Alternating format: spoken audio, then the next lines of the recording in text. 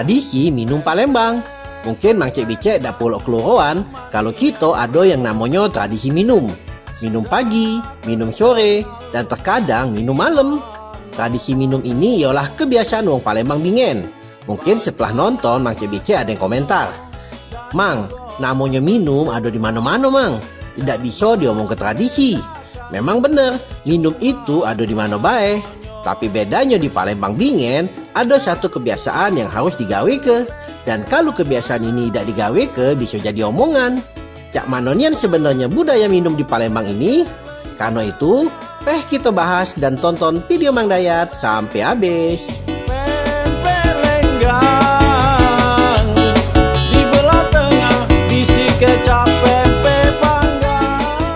Assalamualaikum warahmatullahi wabarakatuh Ketemu Mang Dayat di channelnya Wong Palembang Mohon dukung Mang Dayat untuk terus ngangkat dakwah Sejarah, budaya, dan wisata kota Palembang Dengan mensubscribe dan klik tanda loncengnya Terima kasih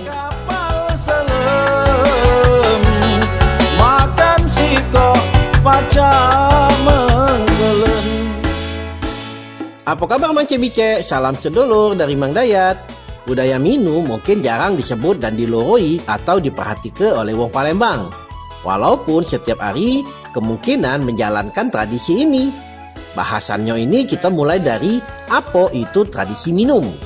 Minum bukan minum-minuman cak wong barat sana Mang Daya. Minum lagi minum mabokan bukan maksudnya itu. Jadi minum misalnya kalau pagi bisa dia kopi, bisa bisa teh misalnya kan. Nah, kalau sore juga sama bisa diminum teh, bisa minum kopi tinggal rewangnya yang berbeda misalnya itu. Nah, hmm. jadi tradisi minum itu minum yang disertai dengan makan-makanan kecil. Jadi tradisi minum Palembang ialah tradisi minum yaitu teh, kopi atau sebagainya yang didampingi oleh pinggirannya atau makanan kecil. Jadi jangan diartikan minum cuma sekedar minum, tapi ngajak makan makanan ringan. Pecah contoh minum kami malam ini -uh. Nah, jadi sakit dulu kita ngopi dulu. Caknya ada ada konsentrasi dari Pak Dedi ini dari tadi. Ini, kita, kita ngopi dulu, kita ngidup kopi dulu. Iya, ini salah satu yang kami gawe ini malam-malam bersanjo di rumah Kando Dedi nih. Hmm. Jadi kita minum di sini disaji ke ma makanan pempek. Nah.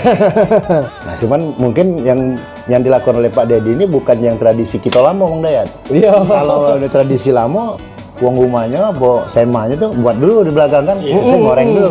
Pak Dede ini kan yang ke stok yang sudah siap saji. Oh, nah, iya. Jadi mungkin Pak Dede ini meng, apa, mengatasi supaya cepat mungkin. Iya. Nah, jadi ini pempek siap saji. Nah, kalau nak beli ini contohnya misalnya. Ini seperti, ini namanya hmm. pempek Eh dulu. Nah, dulu. pempek dulu ini bisa ada di di Tokopedia ada, bisa langsung kontak ke yang yang jual boleh, kayak kita tampil ke di bawah. Hmm. Jadi ini pempek beku siap saji tinggal ngoreng ya, ya. higienis dan bebas pengawet nah maksud dicek kalau nak coba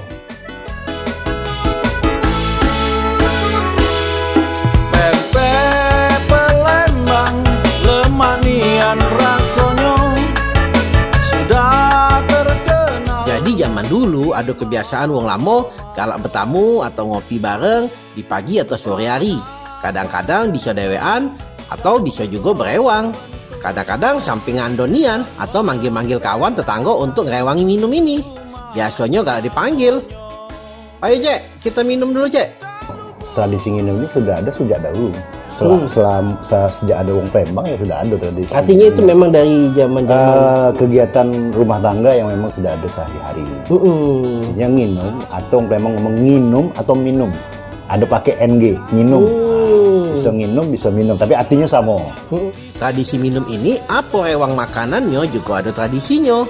Kapan harus keluar makanan gorengan cak pempek kapan harus berkuah kapan harus kuahnya bening dan kapan juga harus santan. Nah minum ini ya kata Mang Daya tadi kalau pagi nah yang membeda ada kalau siang juga ada eh, kalau sore juga ada atau malam juga ada. Nah, yang membedakan itu menunya biasanya. Uh -uh. kalau pagi biasanya dia lebih identik dengan misalnya makan uh, yang berkuah Yo. Nah, atau kepun goreng-gorengan yang bisa pisang goreng segala macam. Uh. Nah, tapi jarang kalau zaman dulu misalnya pempek itu keluar di pagi hari. Uh, uh, nah, kalau pempek itu biasanya keluarnya di sore hari. Sore hari. Nah, kadang-kadang bahan pempek ini juga ada di hmm. yang dijadikan laksan yang dijadikan teh uh, apa uh, laksan kemudian tekwan model Yo. dan yang lain-lain lah ya variannya nah, nanti kuah nanti kuah kayak gitu. nah tapi kalau siang hari atau sore hari itu menjelang asar ke pucuk itu ya hmm. Itu duduk di cak kita lah duduk di teras misalnya di garang kan sambil ngobrol. Kalau ada koran maca koran misalnya kalau ada kalau ada kawan sambil ngobrol. kadang dewean. Kadang dewean benar midang jo oh pengen sambil ngopi macam nah, biasanya orang rumah di belakang mau mau tempe tadi. Nah kalau malam itu biasanya lebih identik ke kopi biasanya. Kopi nah bedanya malam dia tergantung tuan rumah tadi juga. Pacak juga masih ngeluar ke pempek atau dia ganti pasangan pisang goreng, Yo. misalnya ubi goreng. Artinya tidak pernah dewean namanya minum. Kalau jumlah memang kalau misalnya ini kopi bujangan gitu. ada yang ngomong. Coba lah Bang Dayat misalnya dia keluar ke kopi misalnya dengan aku bersanjung mana keluar ke kopi we, kok tuh ya ayo bujangan kopinya bisa. Kira-kira itu. Atau yang kan, ayo tidak berewang gitu Iya. Sendian sendian Om Bembo itu sebenarnya ngejek tahu, ayo tidak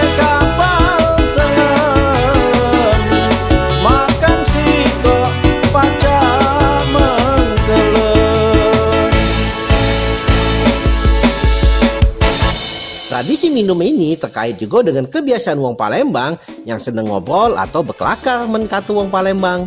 Selain itu budaya minum yang ngerasa ada yang kurang kalau cuma ngasih minum baik kalau lagi ada tamu, yaitu budaya menghormati tamu. Tamu itu satu kalau didatangi tamu bagi si tuan rumah itu adalah rezeki. Hmm. Karena rumahnya banyak didatangi wong. Ya. Karena mungkin wong itu ada juga memang sebagai wong nganggak ay ngeringam ke tapi pandangan wong memang kalau banyak datang wong tuh itu adalah rezeki. Mawa rezeki. Mawa rezeki.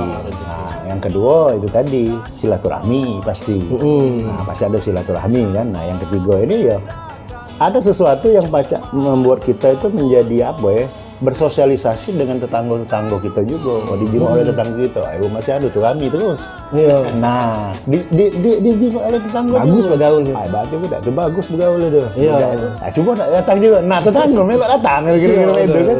Iya, atau pun kita sebaliknya. Tapi jadi ada makna-makna seperti itu.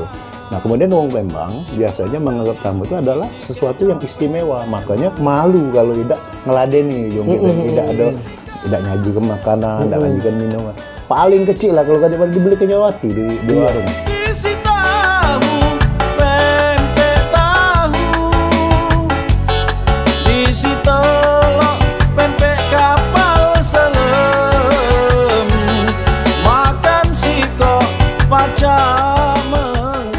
Kebiasaan wong Palembang apa yang ada pokoknya di keluar-keluar kenyo. Dan uniknya di zaman dulu, makanan-makanan yang disaji ke ialah makanan olahan rumah tangga, bukan makanan dari meli. Zaman dulu jarang ada yang jual makanan. Umumnya kaum Hawa Palembang Bingen itu bisa masak. Bahkan tidak bisa dikolongkan gadis bagus kalau tidak bisa masak, walaupun punya wajah yang cantik. Segala bahan baku untuk pembuatan selalu ada di rumah. Jadi kapan pun tinggal ngawek baik. Hmm, kalau wong dulu, kelesan ini siap saji siap saja artinya bahan ada di belakang rumah di dapur di pawon. Mm-hmm. tinggal kalau dia nak makan dia tinggal muat digoreng. Kalau jong mana cepat bae kan nak mudah iya. bae kan. Buat. Nah kelesan ini metu. Iya. Nah, karena ini makan rumah tangga berarti setiap rumah itu sudah stok bahan.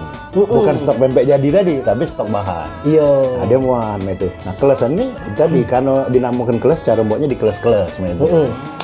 Nah, kemudian dia baru berubah nama jadi pempek ini Pak Dedi sejak dikomersilkan. Oh. Termasuk Pak Dedi ini juga yang yang punya edolur ini komersil sudah namanya. Nah, di komersil itu diperdagangkan.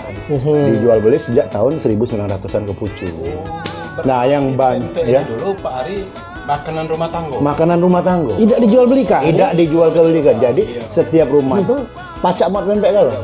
Dari hmm, namanya kelesan. Ah. Karena kelesan itu berasal dari itulah tadi. Cara di kelas-kelas. Rewang tradisi minum tadi. Minum tadi. Jadi hampir nah, rata-rata pacak masaknya. Pacak masaknya, pacak muatnya. Iya. Makanya tadi Mang Daya filosofi pempek ini kan tergantung dia di rewangnya apa. Iya. Diinjuk kuah bening dia jadi bisa jadi Taiwan model. Taiwan model. Kalau diinjuk santan dia pasak jadi celimpungan bisa jadi laksan, Laksan. misalnya kan. Nah kalau dia diinjek telur dikocok-kocok jadi lenggang. Nah kira-kira. Eh, diiris tipis-tipis dijemur jadi kemplang. Nah, banyak kan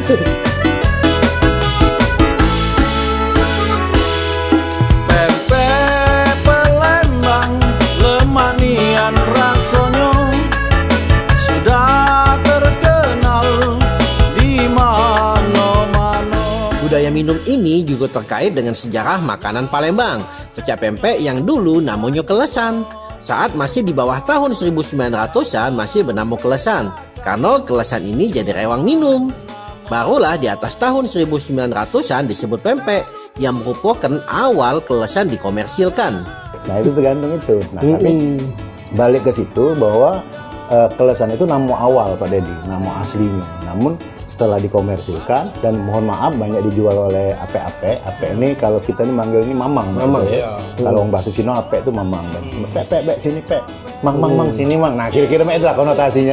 Sehingga familiar lah nama pek pek pek pek ape Memang, oh, beli dengan ape tuh be nah kira-kira mah itu nah. Jadilah nama pempek, sekarang. berubah nama dari nama kelesan menjadi pempek. Dan maknanya tidak berubah sebenarnya. Cuman itu kebiasaan baik karena dari kelesan itu di tradisi buatnya dengan di kelas-kelas kalau pempek karena yang jualnya. Nah, artinya ada perubahannya di cuman dari makanan rumah tangga menjadi industri rumah tangga nah itu dikomersilkan Mhm. Walaupun pempek juga ada versi lain juga di pepek-pepek tadi. iya nah itu jadi Mhm. itu cara buat yang yang yang apa pengertian berikutnya ada juga yang mau karena di untuk untuk kan jadi pek pek Yo. pek nah, Nah, untuk yang detailnya itu tonton di sejarah pempek channel Mang Dayat. Nah, sudah dibahas itu. Iya, iya. Asal-muasal nama pempek yang Iya. sebenarnya. Budaya minum juga terbawa sampai ke acara hajatan wong Palembang atau sering yang disebut dengan sedekahan. Kalau acaranya sore, umumnya ngenjuk minum yang artinya tidak nyedio ke makanan nasi. Nah itu juga kalau acaranya bada isya. Tapi kalau acaranya bada maghrib, umumnya nyedio ke nasi. Jadi orang Palembang itu kalau sedekah, nggak usah lagi ditanya. Iya. Misalnya dia sedekah nih, ya, dia misalnya sedekah habis maghrib, Mm-mm. pasti makan nasi itu. Iya. Tapi kalau dia sedekahnya habis sisa, kebanyakan tidak makan nasi. Minum nah, tadi. minum tadi. Jadi jadi itu pun sudah tidak tercatat, tapi menjadi tradisi sebenarnya. Kebiasaan-kebiasaan yang menjadi tradisi. Cuma sekarang lah mulai bergeser, Kak. Iya. Kabarnya tuh katanya kaceknya tidak banyak. Iya. Iya. Karena Selisih ya, selisih selisih ya. banyak mending kan makan berat sekalian. Iya, tapi itu dengan tapi kalau zaman dulu pakem itu dipakai. Iya. Jadi dia tidak dengar ngejuk tahu yang si tamu nak datang atau yang nak menghadiri dia tahu Lah, juga. tahu juga. Ah, karena tidak makan nasi makan dulu nasi di rumah. Mm-mm. Nah, itu nah. Benar, Jadi benar, itu. benar. Jadi wong dulu tidak pernah melanggar aturan. Lalu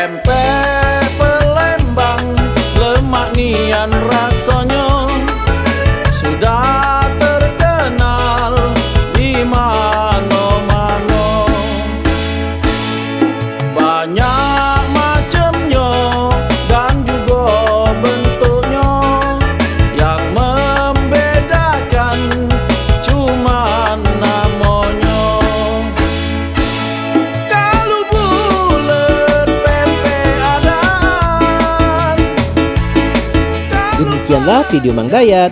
Mudah-mudahan bisa nambah kasana pengetahuan kita tentang kota Palembang dan Sumatera Selatan pada umumnya. Kalau Mang Cek Bicek senang dengan video Mang Dayat, tolong di like dan komen membangunnya. Share juga kalau menurut Mang Cek Bicek bermanfaat. Support channel Mang Dayat dengan mensubscribe dan klik tanda loncengnya.